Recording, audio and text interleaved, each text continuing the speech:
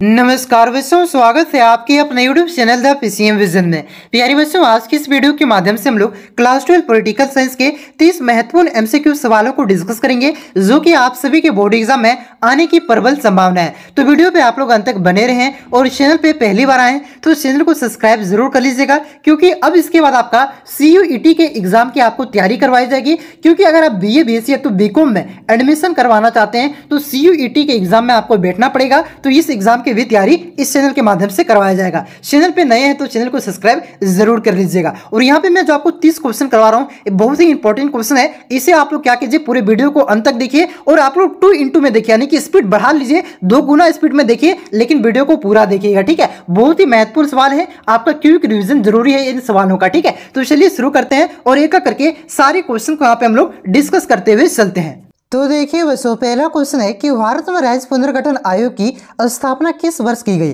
तो भारत में राज्य पुनर्गठन आयोग की स्थापना ये आपका उन्नीस सौ तिरपन में किया गया था। ऑप्शन नंबर गए इसका करेक्ट आंसर होगा उन्नीस सौ तिरपन। और इसके अध्यक्ष कौन थे? तो याद रखिएगा, इसके अध्यक्ष फजल अली थे, ठीक है? उसके बाद देखिए, अगला क्वेश्चन क्या है कि इनमें से कौन सा सोवियत संघ के विघटन का परिणाम नहीं है? तो देखिए, पहला ऑप्शन है अमेरिका और सोवियत संघ के विश्व वैचारिक युद्धकांत। तो ये भी आपका परिणाम है इसका। स्वतंत्र राज्यों में रेस्टकुल का जन्म, ये भी इसका परिणाम है, और शक्ति संतुलन में बदलाव, ये भी आपका सोवियत संघ के विघटन का परिणाम है। मध्य पूर्व में संकट, ये आपका सोवियत संघ के विघटन का परिणाम नहीं है तो इस क्वेश्चन का करेक्ट आंसर होगा ऑप्शन नंबर घ मध्य पूर्व में संकट। उसके बाद देखिए, अगला क्वेश्चन आपका क्या है कि इनमें से किस क्षेत्र में अमेरिकी वर्चस्व देखा जा सकता है? तो अमेरिकी वर्चस्व को आपका सैन्य क्षेत्र में भी देखा जा सकता है, आर्थिक क्षेत्र में भी है, और सांस्कृतिक क्षेत्र में भी है। तो इस क्वेश्चन का करेक्ट आंसर होगा ऑप्शन नंबर घ, उपरोक्त सभी। उसके बाद देखिए अगला क्वेश्चन क्या है कि नीति आयोग ने भारत सरकार के किस संगठन का स्थान लिया? देखिए, नीति आयोग से पहले आपका योजना आयोग को चलता था और 1 जनवरी 2015 को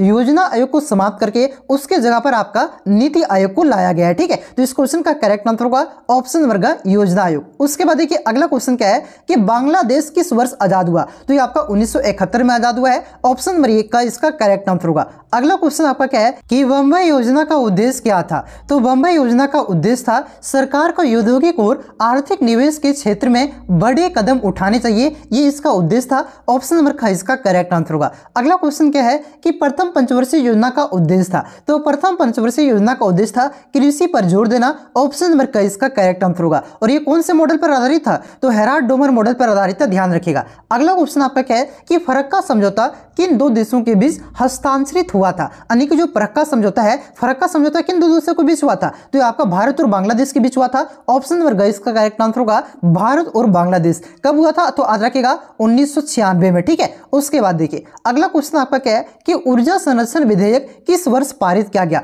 तो ऊर्जा संरक्षण विधेयक को आपका 2001 में पारित किया गया है। ऑप्शन नंबर खाइस का करेक्ट आंसर होगा 2001 अगला क्वेश्चन क्या है कि सीमांत गांधी के नाम से किसे जाना जाता है? तो खान अब्दुल गफार खान को आपका सीमांत गांधी के नाम से जाना जाता है। ऑप्शन नंबर खाइस का करेक्ट आंसर होगा। अगला क्वेश्चन क्या है कि किन देशों ने अटलांटिक चार्टर पर हस्ताक्षर किया? तो कौन से देश ने हस्ताक्षर किया था? तो याद रखिएगा, ये आपका अमेरिका और ब्रिटेन ने किया था। किसने? अमेरिका और ब्रिटेन ने किया था। ऑप्शन नंबर गई, इसका करेक्ट आंसर होगा। अगला क्वेश्चन क्या है कि पंचशील समझौते पर किस वर्ष हस्ताक्षर किए गए थे? तो पंचशील समझौता आपका उन्नीस सौ चौवन में हुआ था। भारत और चीन के बीच ऑप्शन नंबर का इसका करेक्ट आंसर होगा उन्नीस अगला क्वेश्चन देखिए आपका क्या है कि वैश्वीकरण के संदर्भ में प्रवाह शब्द का क्या अर्थ है? तो इसका अर्थ होता है विश्व के एक भाग से दूसरे भाग तक विचारों का संचालन, साथ ही साथ एक स्थान से दूसरे स्थान तक पूंजी का आवागमन ये भी होता है। साथ ही साथ आपका विभिन्न देशों में माल की आवाजाही ये भी होता है। तो इस क्वेश्चन का करेक्ट आंसर होगा ऑप्शन नंबर घ, उपयुक्त सभी।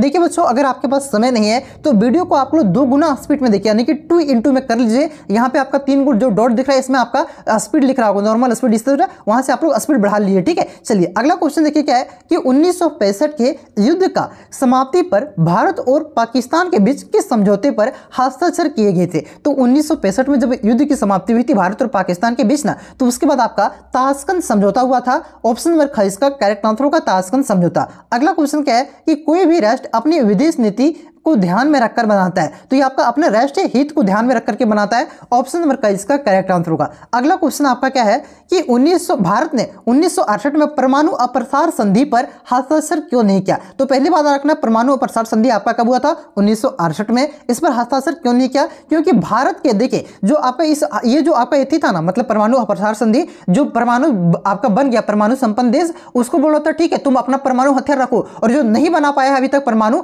वो अपना क्या करो? अभी अपना अब बनाइबो मत करो परमाणु बम, ठीक है? मतलब जो बना लिया है, ठीक किया है, जो नहीं बनाया वो मत बनाओ, ठीक है? तो इस वजह से भारत ने क्या किया था? आपका इस पर हस्ताक्षर नहीं किया मतलब कि भेद भेदभावपूर्ण हो रहा था, ठीक है? तो ऑप्शन नंबर का इसका करेक्ट आंसर होगा, क्योंकि भारत इसे भेद भेदभावपूर्ण मानता था। अगला क्वेश्चन क्या है? कि इनमें से किस देश ने खुली द्वार की नीति अपनाया तो चीन ने अपनाया था उन्नीस में। अगला क्वेश्चन देखिए आपका क्या है? कि राष्ट्रीय आपातकाल किस वर्ष घोषित किया गया था? तो उन्नीस में घोषित किया गया था। ऑप्शन नंबर ग, इसका करेक्ट आंसर होगा। अगला क्वेश्चन है कि भारत सरकार द्वारा राजा महाराजाओं को दिए जाने वाले विशेष विशेषाधिकार को कहा जाता था। तो इसे क्या कहा जाता था? तो याद रखिएगा, इसे आपका कहा जाता था प्रीवी पर्स क्या कहा जाता था?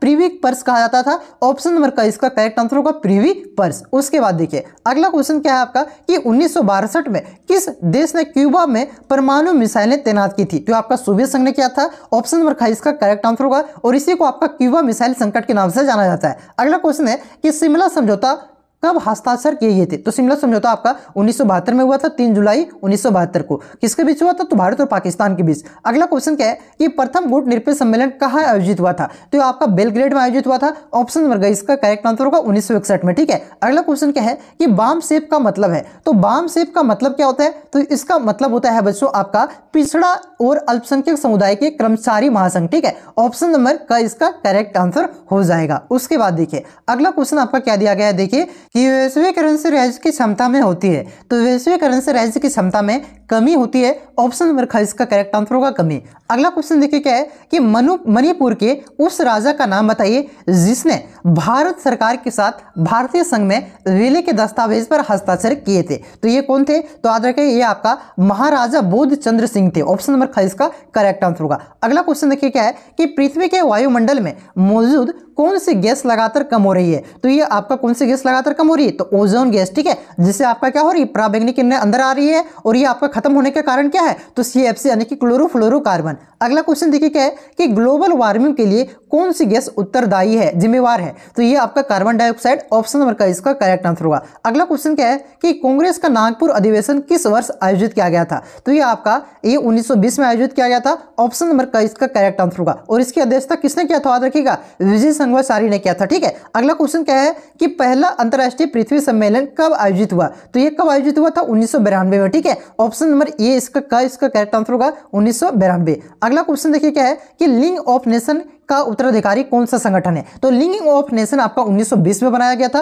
और इसका उत्तराधिकारी आपका किसे बनाया, माना जाता है? तो यूएनओ को, ठीक है? उसके स्थान पर यूएनओ आया? ऑप्शन नंबर का इसका करेक्ट आंसर होगा। तो प्यारे बच्चों ये जो आपका इंपॉर्टेंट क्वेश्चन था, ये मैंने आप सभी को करवाया। इसके बाद आपको सी की तैयारी करवाया जाएगा। अगर आप बी ए तो बी की तैयारी करना चाहते हैं मतलब नाम लिखाइएगा बी ए तो बी में तो आपको सी के एग्ज़ाम में बैठना पड़ेगा, तभी आपका एडमिशन हो पाएगा, ठीक है? तो सी के एग्ज़ाम आपको देना पड़ेगा और ये जो सी का एग्ज़ाम है इसका तैयारी इस चैनल के माध्यम से करवाया जाएगा। तो इस चैनल पर आप लोग नए हैं तो चैनल को सब्सक्राइब ज़रूर कर लीजिएगा। और ये आपका आज का अंतिम वीडियो था, और आप लोगों को बहुत बहुत धन्यवाद जो आप लोग अंतिम तक जुड़े रहे ठीक है? चलिए, आपको आज के एग्ज़ाम के लिए बेस्ट ऑफ़ लक उम्मीद करते हैं कि आप लोगों का बाकी एग्ज़ाम भी बहुत ही अच्छा गया होगा। चलिए, कमेंट करके ज़रूर बताइएगा, ठीक है? और चैनल से जुड़े रहिए सी का एग्ज़ाम आपको तैयारी करवाया जाएगा, ठीक है? बच्चों, बहुत ही ज़्यादा ज़रूरी है सीयूटी का एग्ज़ाम देना। नहीं दीजिएगा तो आपका बी ए बी एस तो बी में एडमिशन नहीं होगा। मतलब ग्रेजुएशन इसके बाद करिएगा ना, उसमें एडमिशन नहीं होगा, चाहे कोई भी कॉलेज में दिखाइए ठीक है? तो चलिए आप लोगों का एग्ज़ाम दीजिए, बहुत ही अच्छा एग्ज़ाम जाएगा। उम्मीद करते हैं आप लोग 200 एमसीक्यू वाला, अगर आपके पास टाइम है तो 200 एमसीक्यू वाला जो पी